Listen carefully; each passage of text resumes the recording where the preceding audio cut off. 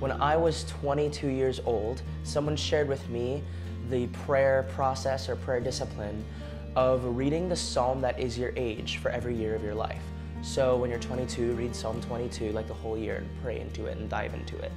Same with 23, 24, and so on and so on.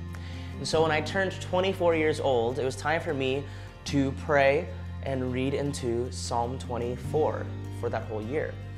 And I did, and I soon became captivated by it. And I loved the last part that said, Lift high, you heavenly gates, swing wide, you ancient doors, let the King of glory come in. And so that's really what I focused on when I was reading King of Glory. It's inspired by Psalm 24, um, just letting the King of Glory come in.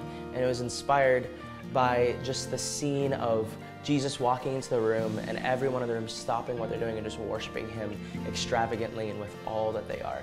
Um, so that's really what that song is for. That song is for corporate worship. That song is for when the King walks into the room and we're just there to adore Him and worship Him extravagantly and with everything that we've got.